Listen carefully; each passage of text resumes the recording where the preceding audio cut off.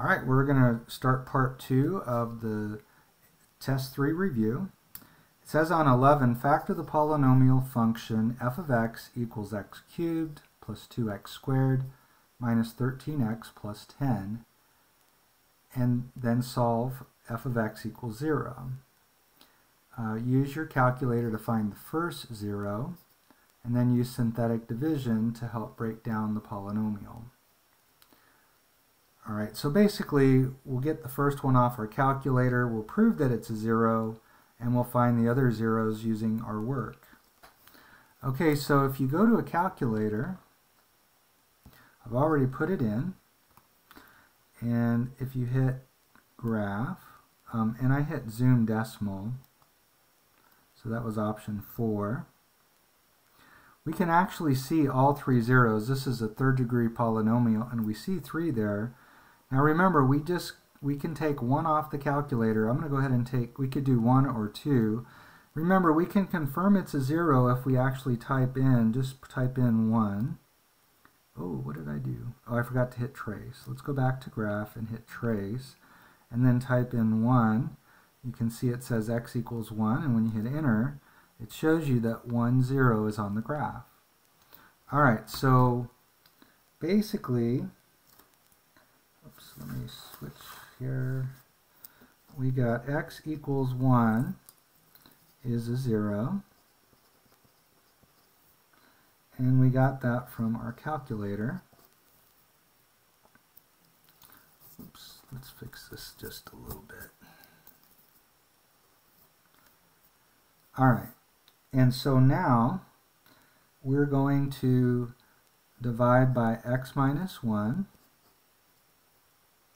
So that means 1 goes in the box.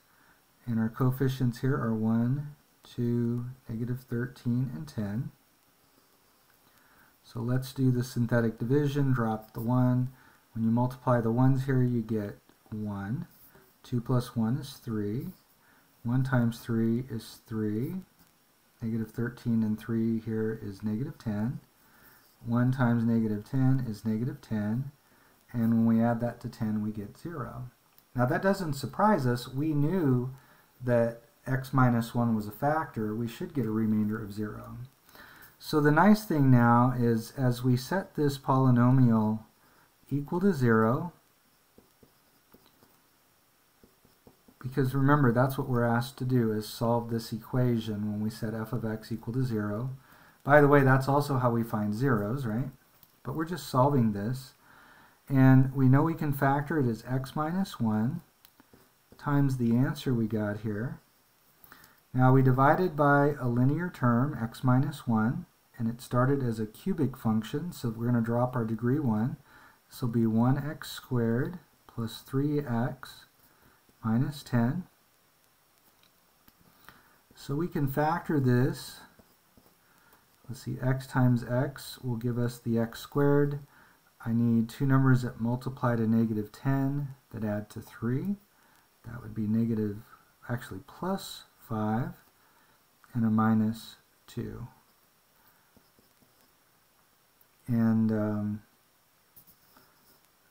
then you,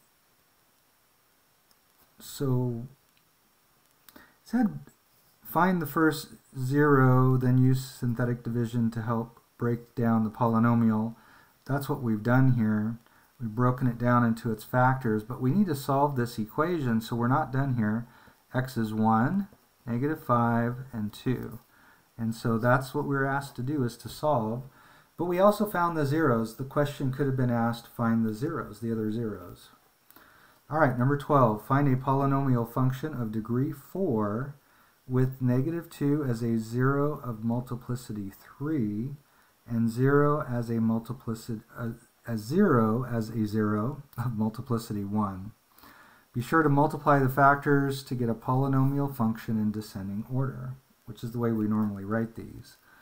So let's go ahead and write f of x equals, so if negative 2 is a 0 of multiplicity 3, that means x plus 2 is a factor and it's cubed. And since 0 is a 0 of multiplicity 1, we're also going to multiply that by x. So I need to multiply some x plus 2s out here. So let's go ahead and multiply these guys together and then we'll multiply by x plus 2. It really doesn't matter which order we do, do it in, but we're going to get a trinomial here and we'll multiply it by this binomial. So let's go ahead and do that. You'll get x squared plus 2x plus 2x plus 4, which is x squared plus 4x plus 4. Now don't forget, that's going to be multiplied by x plus 2. We multiplied two of these together, now we got to multiply by one more x plus 2. So we'll distribute the x. It'll be x times each of these. So we'll get x cubed. x times 4x is 4x squared. And x times 4 is 4x. And then we're going to multiply the 2 times each of these we'll have a 2x squared. I'm going to actually put it right here, right below the 4x squared. And uh, 2 times 4x, that's going to be 8x. We'll put it under the 4x. And 2 times 4 is 8. So we're going to end up with x cubed plus 6x squared plus 12x plus 8. Now keep in mind, we just found x plus 2 cubed. So we have x times what we just got here, which is x plus 2 quantity cubed. So x to the third plus 6x squared plus 12x plus 8. And so we're going to end up with x to the fourth, I'm just distributing now, plus 6x cubed plus 12x squared plus 8x. And that's our final function that's got these zeros. That's our f of x. All right, on number 13, says find a polynomial function of lowest degree that has as some of its zeros negative square root of 7 and 4i. Make sure you multiply out the factors to get a complete polynomial function in descending order. So again, we uh, if we have zeros, we have factors. Now keep in mind, if x equals negative the square root of 7 is a 0, then we know its conjugate, the positive square root of 7, is also a 0.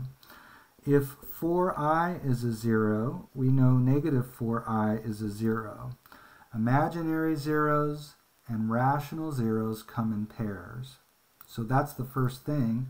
So now we can write the corresponding factors. If negative square root of 7 is a 0, then x plus the square root of 7 is a factor. If square root of 7 is a 0, then x minus the square root of 7 is a 0. Similarly, we'll have x plus 4i and x minus 4i. So the 4i comes from here, and the x minus 4i comes from here. So when you do these multiplications, you want to multiply your conjugates first. The nice thing about conjugates here is when we multiply the inner product and the outer product, they're going to add up to zero. That's because our terms are the same, we just have opposite sides in the middle, or opposite signs. The only difference is, or the only thing we need to do is multiply the x times the x, which is x squared, and then square root of 7 times a minus square root of 7. Remember, 7 square root of 7, I'm sorry, square root of 7 times square root of 7 is 7. So this is minus 7. Here, um, we're going to multiply the x's. We get x squared. Again, we don't have to worry about the inner product or the outer product. The last product, 4i times a minus 4i, is minus 16i squared. Now this is going to be x squared minus 7 times x squared. Now remember negative, or I'm sorry, i squared is negative 1. So this is negative 1 times a minus 16. That'll be plus 16.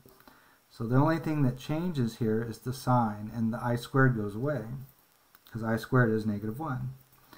So now we're ready to FOIL this. So x squared times x squared is x to the fourth. We'll multiply the outer terms. We get 16x squared. The inner product, minus 7x squared. And the last product, negative 7 times 16, And let's see, that would be minus 112.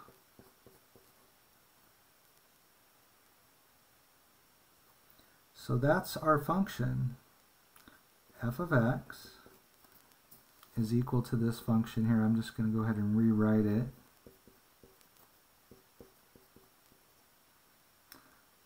Uh, let's see, actually I need to combine my like terms there.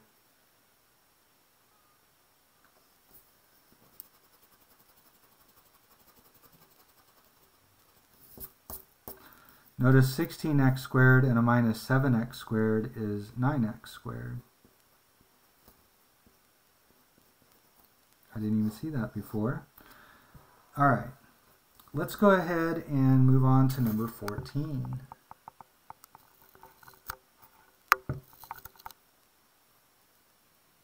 List all the possible rational zeros of the following polynomial functions.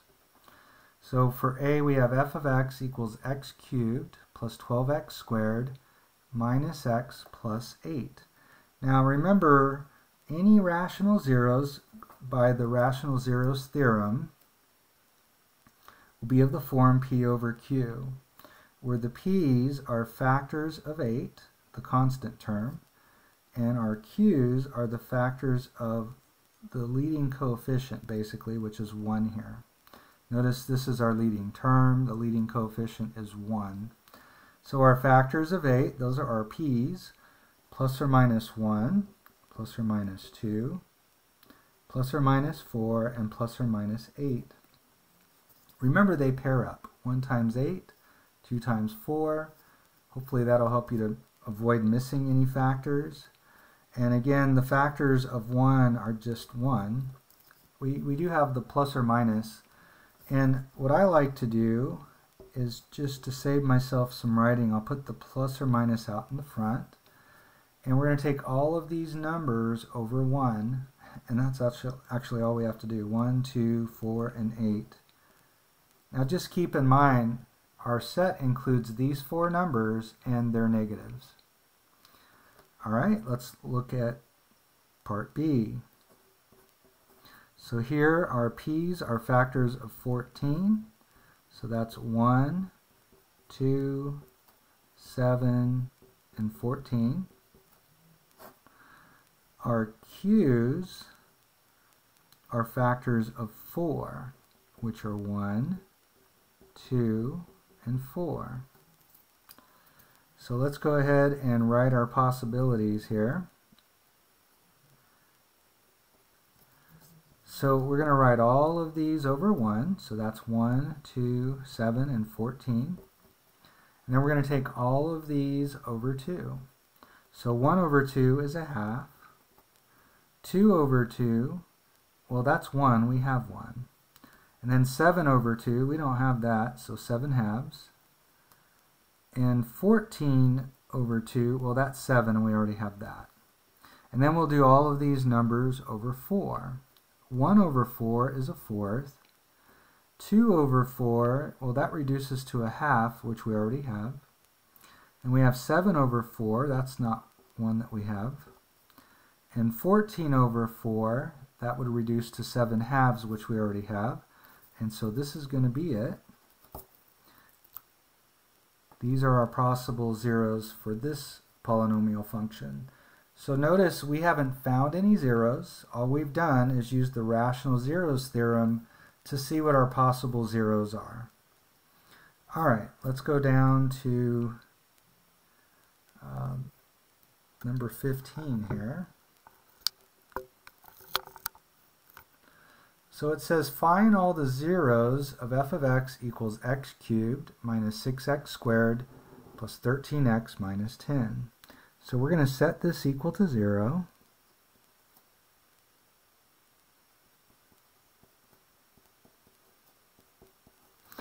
And you can try factoring by grouping, but it doesn't work. Now, it didn't say we have to use the rational zeros theorem, but we certainly could do that. We're just going to go ahead and get our first uh, zero off the calculator. Remember, you can only get one off of the calculator. So it's going to be x cubed. Whoops, let me fix that. So x cubed minus 6x squared plus 13x minus 10. Let's go ahead and hit the graph button. And it looks like we have a 0 at 2. So we can hit trace and type in 2 and hit enter. And sure enough, 2, 0 is a 0. Notice that's the only one we got. Oops. Okay, so 2. So let's see. We'll just put it over here. x equals 2 is a 0. We got that off our calculator. So that means uh, if we divide by x minus 2, we should get a remainder of 0. So we're going to divide by x minus 2. That should be a factor of this polynomial. So let's go ahead and do that. Actually, we'll do that here. So 2 goes in the box. We've got coefficients of 1, negative 6, 13, and negative 10. We'll drop the 1. Multiply, we get 2. In the columns, we always add. We'll get negative 4 here. Multiply here, you get negative 8. When you add, you get 5. And 2 times 5 is 10. And notice we do get a remainder of 0. And so now we can factor this as x minus 2. We just divided by x minus 2 times our answer. Now remember, uh, we were dividing a cubic function by a linear function, so it drops the degree 1. This is 1x squared minus 4x plus 5.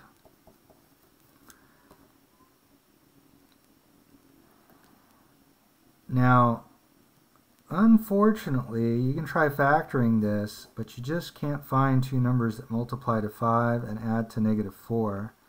1 and 5 are the only factors of 5, but if you made them both negative, they have to both be negative or both be positive to multiply to 5. Neither of those cases are going to add to negative 4. So there is no way to factor this to find the other zeros, we want to set this factor equal to 0. And you could use the quadratic formula, but I'm going to complete the square since this is a nice middle term here.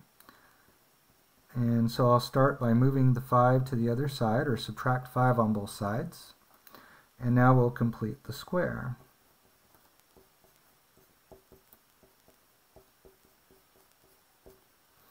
So half of negative 4 is negative 2. And when you square that, you get 4. So that's what we'll add to each side. As a perfect square, we would write this trinomial as x minus 2 quantity squared equals, and negative 5 plus 4 is negative 1. Remember, this number will always be half of this number here. It's the number you squared to get the 4. So I'll square both sides and I'm getting, I'm losing my room here, running out of room. So of course this side, I'm going to go ahead and go all the way over here. That would be x minus 2, because you're squaring something and then doing the opposite of taking a square root. We're going to get just what's in here. And then square root of negative 1, that's i. So this is equal to plus or minus i. We'll add 2 to both sides.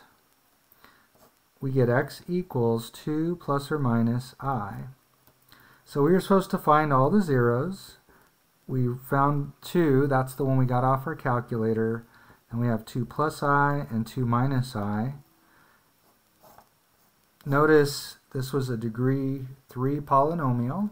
And notice we got 3 zeros. That's what we expect. All right, I'm going to go ahead and stop right there, and I'll do one last video to wrap this up.